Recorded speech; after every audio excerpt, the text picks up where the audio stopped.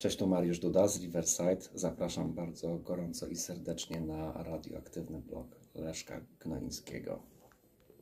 Będę tam.